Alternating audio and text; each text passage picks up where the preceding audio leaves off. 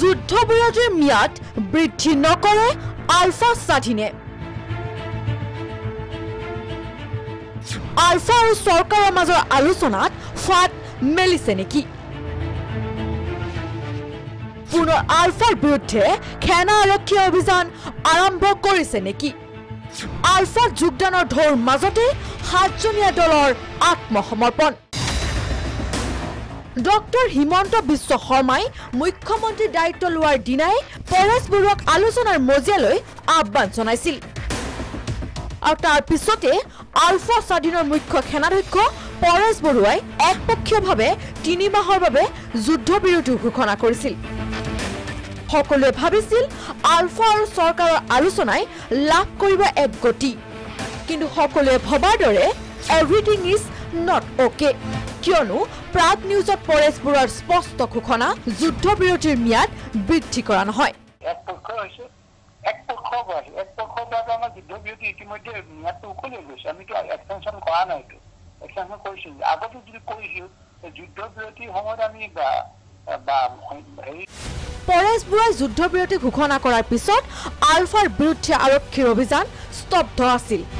কিন্তু পুনৰ আলফাৰ বিৰুদ্ধে সেনা আৰক্ষীৰ আগ্নেয়াস্ত্ৰ চলিছে। কিয়নো ম্যানমাৰৰ আলফা স্বাধীনৰ শিবিৰৰ পৰা নামি অহা আলফাৰ এটা সাতজনীয়া দলক লৈ অৰুণাচলৰ নাংপঙৰ গভীৰ অৰণ্যত সেনা আৰক্ষীৰ ব্যাপক অভিযান চলিছিল। দলটোৰ সদস্য ধনী অসমে আত্মসমৰ্পণ কৰাৰ পিছত দলটো চেডেলি ভেদেলি হৈছিল ঘন জংঘলত।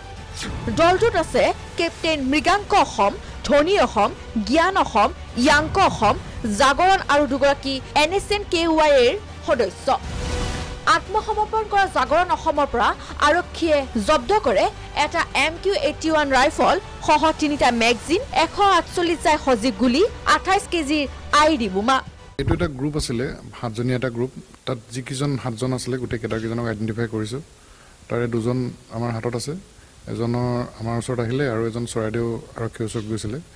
তো তেওঁলোকৰ হাতত যিবোৰ আৰ্মছ আছিলে বা আৰ্মছ এমুনেশ্যন আপোনালোকে এইখিনি দেখিলে এইখিনি আছিলে ধনী অসমৰ লগত। আৰু তাৰপিছত জাগৰণ বুলি যিজন আছিলে তেওঁ চৰাইদেউত গ'ল। আকৌ আৰু কিছুমান কনচিল কৰি থৈ দিয়া ৱেপন আৰু এক্সপ্ল'চিভ আমাৰ অপাৰেশ্যন পাৰ্টীয়ে গৈ তাৰ পৰা উদ্ধাৰ কৰিছে। শেহতীয়াকৈ ধাৰাবাহিকভাৱে উজনি নামনিৰ বহু যুৱক যুৱতীয়ে যোগদান কৰা প্ৰসংগত আলফা নেতা অনুপ চেতিয়াৰ মন্তব্য ৰাজ্যৰ অৰ্থনৈতিক অৱস্থা দুৰ্বল হোৱা বাবেই আলফালৈ গৈছে বহু যুৱক যুৱতী।